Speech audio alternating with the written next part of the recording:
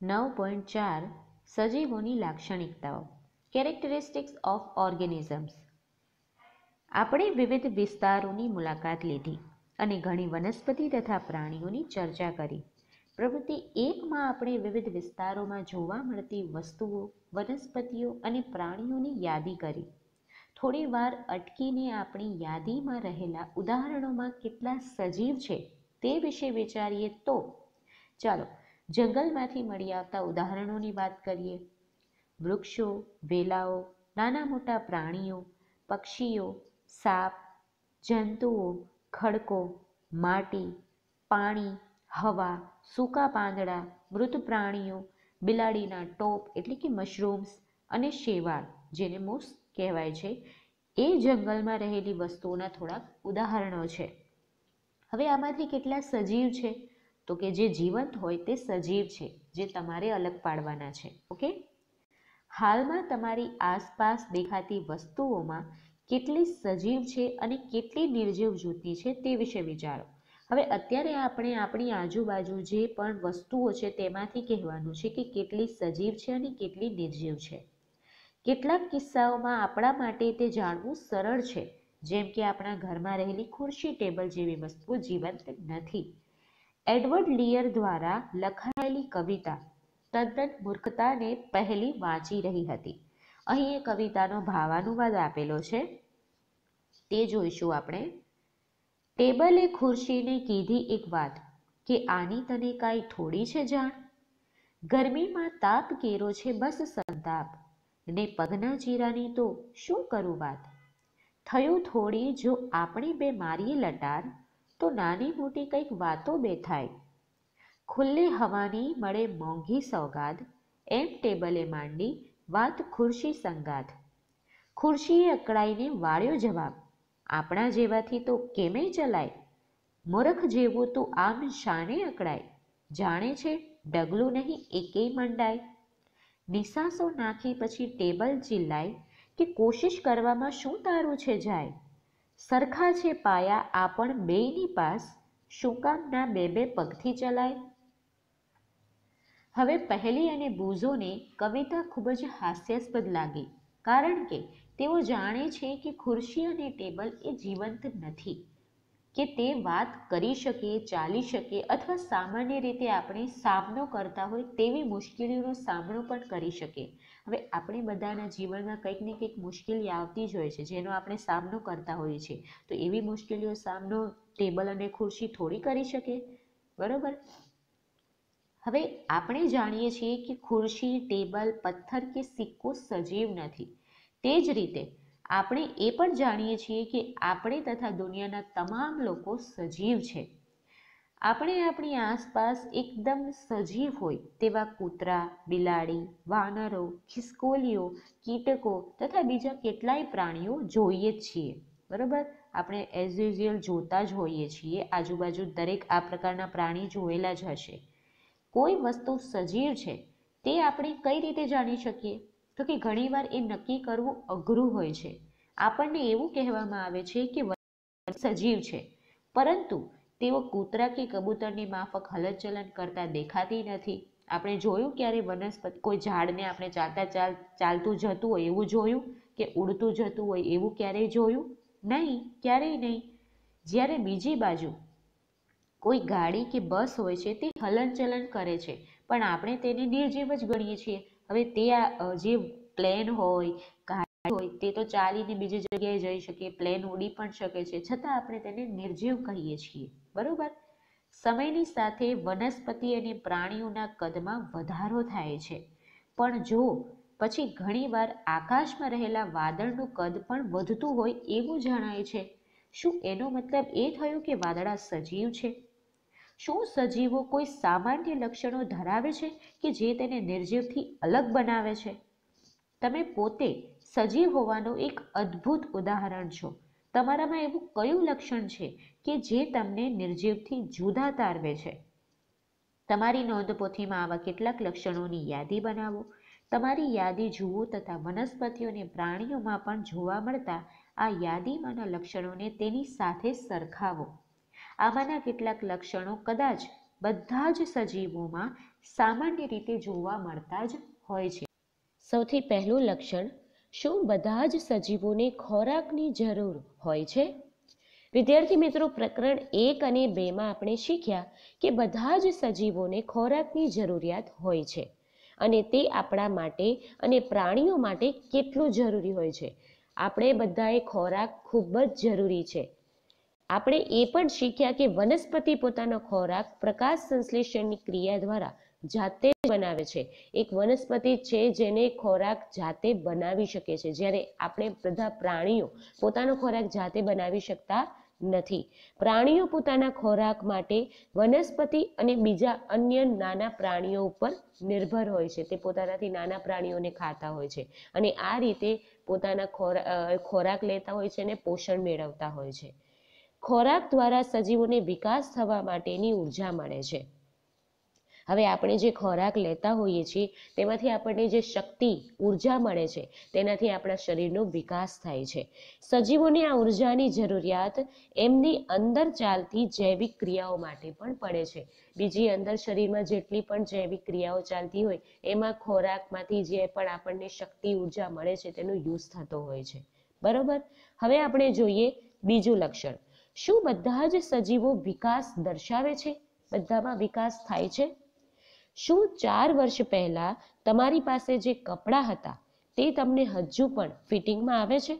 વિદ્યાર્થી મિત્રો, યાદ કરો, તમે જે ચાર વર્ષ પહેલાં કપડાં પહેરતા હતા, એ તમે અત્યારે પહેરશો તો શું તમને તે ફિટ થશે? તમને કમ્પ્લીટ થઈ રહેશે? નહીં, તમને નાના પડશે. તમને હવે તે થતા નથી, ખરું ને? આટલા વર્ષોમાં તમે વધુ ઊંચા થઈ ગયા છો. એટલા માટે એ કપડાં તમને નથી થતા. તમે ભલે અનુભવતા ન હો પણ તમારો વિકાસ દરેક સમયે થતો જ હોય છે. અને થોડા વર્ષોમાં તમે પુખ્ત બની જશો, મોટા થઈ જશો. હવે તમે જે આકૃતિમાં જોઈ રહ્યા છો કે બાળક મોટું થઈને પુખ્ત બને છે, કેવી રીતે પહેલાં તે નાનું હતું અને તે એકદમ મોટો પુખ્ત વ્યક્તિ બની ગયો છે. પ્રાણીઓના બચ્ચા પણ પુખ્ત બને છે. તમે કૂતરાના ગલુડિયાને પુખ્ત થતા જોયા જ હશે કે કેવું ગલુડિયું નાનું હોય છે અને પછી છેલ્લે મોટું કૂતરો બની જાય છે. તો આ રીતે તેમાં વિકાસ થતો હોય છે. ઈંડામાંથી નીકળેલું પીલું એટલે કે મરઘીનું બચ્ચું વિકાસ પામી મરઘી કે કુકડો બને છે. તમે આ આકૃતિમાં જોઈ શકો છો કે મરઘીનું બચ્ચું કેવી રીતે પુખ્ત બનીને મોટી મરઘી બની ગઈ છે. વનસ્પતિનો પણ વિકાસ થાય છે. તો વિદ્યાર્થી મિત્રો, તમને આ ખ્યાલ હોય તો વનસ્પતિ પણ વિકાસ પામે છે. કારણ કે આપણે તેને સજીવ જ કહીએ છીએ. એટલા માટે જ સજીવ કહીએ છીએ. કારણ કે તેમાં પણ વિકાસ આપણે જોઈ શકીએ છીએ. તમારી આજુબાજુ જુઓ અને ચોક્કસ પ્રકારની વનસ્પતિનું અવલોકન કરો, જેથી તમને જાણવા મળશે કે વનસ્પતિમાં પણ ધીરે ધીરે વિકાસ થતો હોય છે. કેટલીક ખૂબ જ નાની અને બાળછોડ જેવી છે. જ્યારે કેટલીક વિકસિત છે, તમે આમાં જોઈ શકો છો કે કેટલીક અતિશય નાની છે બાર છોડ જેવી, જ્યારે આ કેટલું મોટું ઝાડ છે, બરોબર? જ્યારે કેટલીક વિકસિત છે, તેઓ દરેક વિકાસના વિવિધ તબક્કામાં હોઈ શકે છે. એ વનસ્પતિઓને થોડા દિવસ કે અઠવાડિયા બાદ જુઓ. તમે જ્યારે કોઈ છોડ ઉગાડો છો, તો એને તમે ધીરે ધીરે ખાતર, પાણી આપીને તમે મહિના પછી જુઓ કેટલાક અઠવાડિયાઓ પછી, મહિના પછી, બે, ત્રણ મહિના પછી જોશો તો એમાં વિકાસ થયેલો તમને નોંધાશે. તમે અવલોકન કરશો તો તમને ખબર પડશે કે હા, વનસ્પતિનો વિકાસ થયેલો છે. એ વનસ્પતિને થોડા દિવસ કે અઠવાડિયા બાદ જોતા તમે નોંધશો કે તેમાંથી કેટલીક કદમાં વધી ગઈ છે. દરેક સજીવમાં વિકાસ એ એક સામાન્ય બાબત છે. દરેક સજીવ, જે પણ સજીવ હશે, એની અંદર વિકાસ થવો એ એક નોર્મલ વાત છે કે વિકાસ થાય જ એમાં. શું તમે વિચારો છો કે નિર્જીવ વસ્તુનો વિકાસ થતો નથી? હવે નિર્જીવ વસ્તુ કઈ છે એ કેમ ખબર પડે? કારણ કે તેમાં વિકાસ થતો નથી. એના ઉપરથી આપણે ખબર પડી શકે છે. તો તમને વિચાર આવ્યો હશે ને કે નિર્જીવ વસ્તુમાં વિકાસ થતો નથી જ્યારે સજીવ વસ્તુ, સજીવમાં વિકાસ થાય છે. એક સામાન્ય બાબત છે. હવે આપણે જોઈશું ત્રીજું લક્ષણ. શું દરેક સજીવ શ્વસન કરે છે? વિદ્યાર્થી મિત્રો, શું આપણે શ્વાસ લીધા વગર જીવી શકીએ છીએ? નહીં ઓબ્વિયસલી નોટ તમે બધા મને એમ જ કહેશો, ના મેમ ના જીવી શકીએ. બરોબર? જ્યારે આપણે શ્વાસ લઈએ છીએ, ત્યારે બહારની હવા શરીરની અંદર દાખલ થાય છે. તમે જોઈ શકો છો આમાં કે કેવી રીતે બહારની હવા અંદર દાખલ થઈ રહી છે. જ્યારે આપણે શ્વાસ બહાર કાઢીએ છીએ, ત્યારે આપણા શરીરની અંદરની હવા બહાર નીકળે છે. હવે શ્વાસોશ્વાસ એ શ્વસન ક્રિયાનો એક ભાગ છે. બરોબર? હવે આપણા શરીરમાં કે કોઈ પણ સજીવમાં શ્વાસોશ્વાસ થવું એ એક એનું લક્ષણ છે. એ શ્વસન ક્રિયાનો એક ભાગ છે. શ્વસનમાં આપણે શ્વાસમાં લીધેલા હવામાંના થોડાક ઓક્સિજનનો ઉપયોગ આપણું શરીર કરે છે. આપણે જે હવા શ્વાસ તરીકે લેતા હોઈએ છીએ, તે આપણે હવામાંથી ઓક્સિજન આપણા શરીર યુઝ કરતું હોય છે એ ઓક્સિજનનો યુઝ કરે છે. ત્યારબાદ આ પ્રક્રિયામાં ઉત્પન્ન થયેલો કાર્બન ડાયોક્સાઇડ આપણે બહાર કાઢીએ છીએ. તમે જોઈ શકો છો કે કેવી રીતે એ ઓક્સિજનનો યુઝ થયા પછી કાર્બન ડાયોક્સાઇડ બહાર નીકળે છે. વિદ્યાર્થી મિત્રો, તમે ગાય કૂતરા કે બિલાડીમાં થતી શ્વસન ક્રિયાની પ્રક્રિયા મનુષ્યોમાં થતી પ્રક્રિયા જેવી જ હોય છે? એવું જોયું છે ક્યારે કે આવા પ્રાણીઓ આરામ કરતા હોય ત્યારે તેમાંથી કોઈ એકનું અવલોકન કરતા તેમના પેટના હલનચલનને તમે જોયું હોય? એવું તમે ક્યારેય નોંધ્યું છે કે એ જ્યારે શાંતિથી, એકદમ શાંતિથી બેઠા હોય? બરોબર? અને ત્યારે જ એ ધીરે ધીરે શ્વાસ શ્વાસોશ્વાસની ક્રિયા કરતા હોય છે, ત્યારે એમનું પેટ ધીરે ધીરે હલતું હોય છે. તો આ આપણને શ્વસન ક્રિયા જોવા મળે છે, એમની અંદર. હવે તેમના પેટના હલનચલનને નોંધતા આ ધીમું અવલો, હલનચલન દર્શાવે છે કે તેઓ શ્વાસ લઈ રહ્યા છે, કે તેમનામાં શ્વસનની પ્રક્રિયા નોર્મલી ચાલી રહી છે, એવું આપણને જોવા મળે છે. દરેક સજીવ માટે શ્વસન જરૂરી છે. શરીરે લીધેલા ખોરાકમાંથી અંતે શ્વસનને લીધે જ ઊર્જા મળે છે.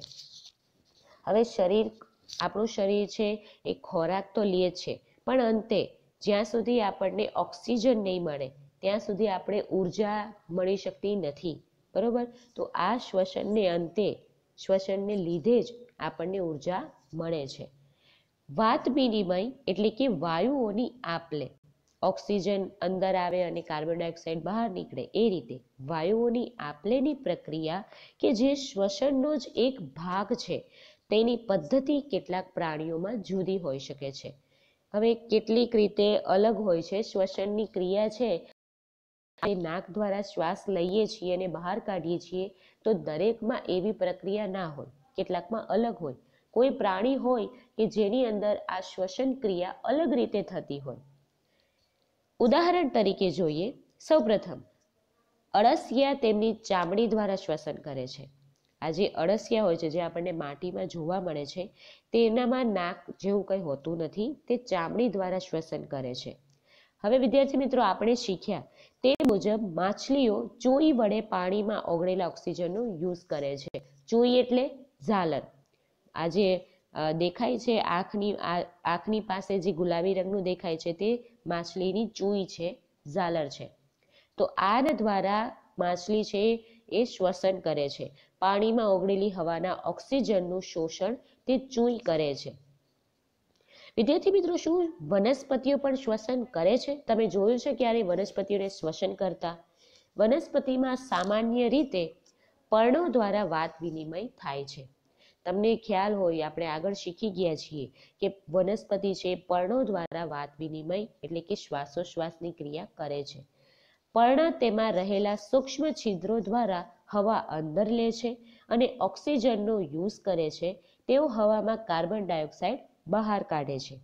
આપણે શીખ્યા છીએ કે સૂર્યપ્રકાશની હાજરીમાં વનસ્પતિ હવામાંના કાર્બન ડાયોક્સાઇડનો ઉપયોગ કરીને તેનો ખોરાક બનાવે છે. વનસ્પતિ એક જ એવું સજીવ છે જે વાતાવરણમાંથી કાર્બન ડાયોક્સાઇડનો યુઝ કરીને ઓક્સિજન વાતાવરણમાં બહાર કાઢે છે. અને એ ઓક્સિજનનો યુઝ આપણે શ્વાસોશ્વાસની ક્રિયામાં કરીએ છીએ. બરોબર? તો આ રીતે વનસ્પતિ છે કાર્બન ડાયોક્સાઇડનો યુઝ કરીને ખોરાક બનાવે અને ઓક્સિજન બહાર કાઢે છે. વનસ્પતિ દ્વારા ખોરાક બનાવવાની પ્રક્રિયા દરમિયાન મુક્ત થતા ઓક્સિજનનું પ્રમાણ શ્વસન ક્રિયામાં વપરાતા ઓક્સિજન કરતાં વધુ હોય છે. એ ક્યારેક ક્યારેક ઓક્સિજન લેતી હોય છે શ્વાસમાં, એના કરતાં ડબલ ગણો તો તે ઓક્સિજન વાતાવરણમાં મુક્ત કરતી હોય છે.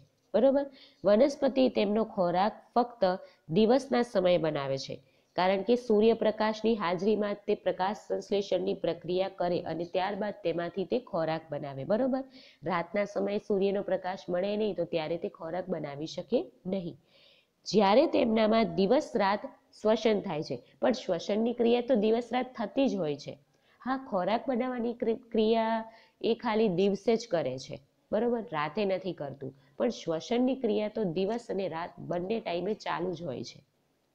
હવે આપણે જોઈએ એના પછીનું લક્ષણ. શું દરેક સજીવ ઉત્તેજનાને પ્રતિચાર આપે છે? વિદ્યાર્થી મિત્રો, તમે ખુલ્લા પગે ચાલતા હો. ત્યારે પગમાં તીક્ષ્ણ કાંટો ભોકાય, ત્યારે તમે કઈ રીતે પ્રતિભાવ આપો છો?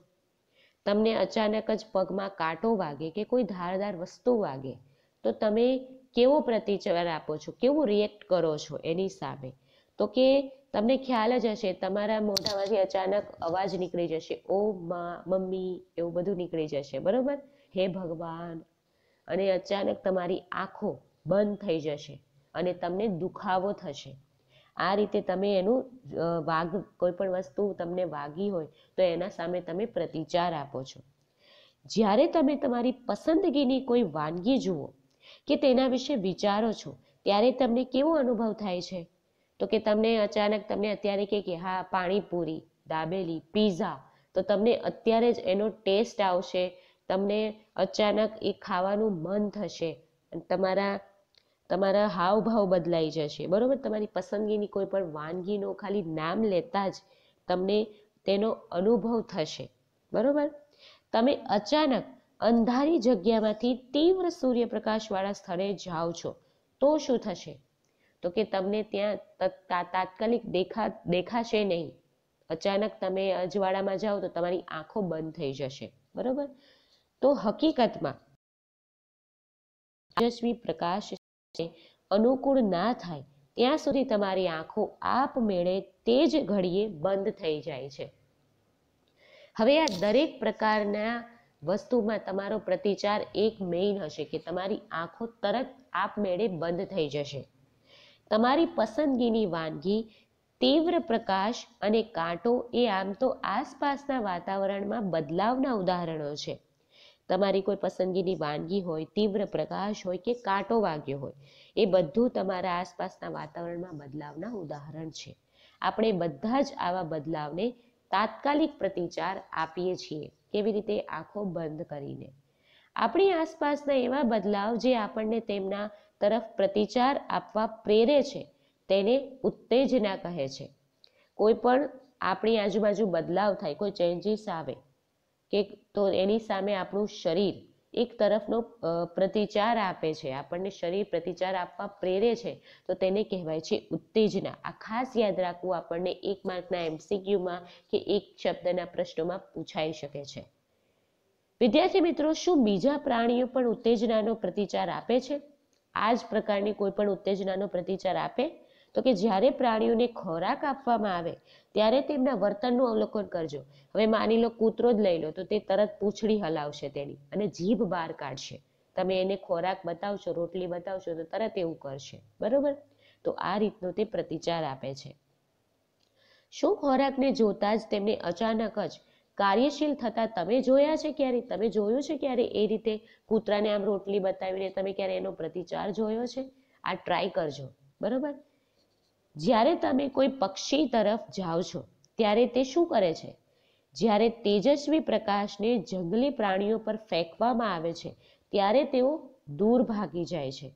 તેવી જ રીતે જો રસોડાની લાઇટને રાત્રિ દરમિયાન ચાલુ કરવામાં આવે, તો ત્યાં જો કોઈ વંદો નીકળેલો હોય, તો તે વંદાઓ તેમની છુપાવાની જગ્યાઓ તરફ ભાગવાનું શરૂ કરી દે છે.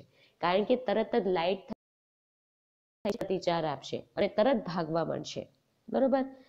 હવે શું વનસ્પતિ પણ ઉત્તેજનાને પ્રતિચાર આપે છે? હવે આ થઈ આપણા માણસો અને પ્રાણીઓની વાત, કે તેઓ કોઈ પણ ઉત્તેજનાને પ્રતિચાર આપે છે. વનસ્પતિ પણ આ રીતનું કરે છે, કારણ કે આ બધું વર્તન, આ બધા લક્ષણ આપણે સજીવમાં જોઈ રહ્યા છીએ. તો વનસ્પતિ પણ સજીવ છે, તો આપણે એ જોઈશું કે વનસ્પતિ પણ આ રીતે ઉત્તેજનાનો પ્રતિચાર આપે છે. કેટલીક વનસ્પતિના પુષ્પ માત્ર રાત્રે જ ખીલે છે, દિવસે નથી ખીલતા. જ્યારે કેટલીક વનસ્પતિમાં સૂર્યાસ્ત થતાં પુષ્પ બંધ થઈ જાય છે. તમને ખ્યાલ હોય તો સૂર્યમુખી છે, એ સૂર્યની સૂર્ય જેમ ફરે તે રીતે તે તેનું મુખ ફેરવતી હોય છે. બરાબર? બીજું, તો કે લજામણી જેવી કોઈ કેટલીક વનસ્પતિના પર્ણને જો કોઈ અડકે, તમે જોઈ શકો છો આ ફોટોમાં કે કેવી રીતે લજામણીનું જે પાંદડા છે, એને આંગળી અડાડતા, અડાડતાની સાથે જ તે પર્ણ બંધ થઈ જાય છે. આ ફોટોમાં પર્ણ ખુલ્લું હતું અને આમાં અડતાની સાથે જ પર્ણ બંધ થઈ ગયું. આસપાસના વાતાવરણમાં બદલાવ થતાં જ વનસ્પતિએ તેને આપેલા પ્રતિચારના આ કેટલાક ઉદાહરણ છે. તો આ રીતનું આપણે એક્ઝામ્પલ જોયું, બરોબર? હવે આપણે જોઈશું આ વસ્તુ, પ્રતિચારની વસ્તુ આપણે કેવી રીતે જોવા મળે છે વનસ્પતિઓમાં, તેના વિશે આપણે એક પ્રવૃત્તિ દ્વારા સમજીએ. પ્રવૃત્તિ ચાર.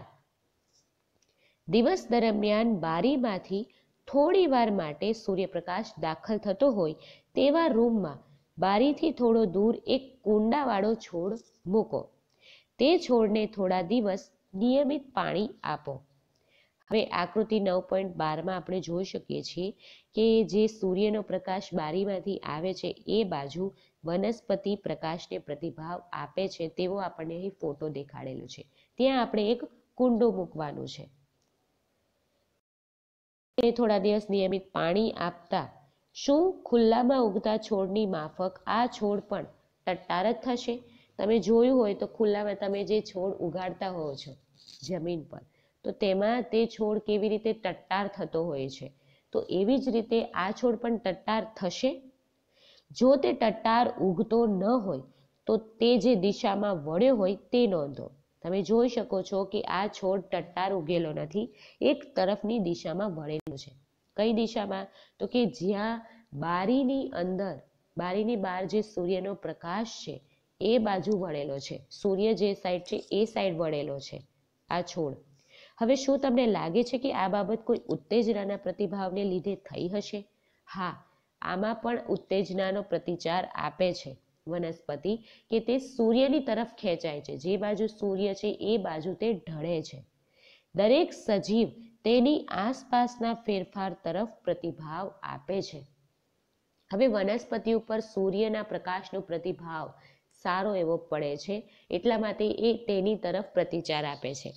તો આ જ રીતે કોઈ પણ સજીવ હોય તેની આસપાસમાં જે કોઈ ફેરફાર થતા હોય તેની તરફ પ્રતિભાવ આપે છે.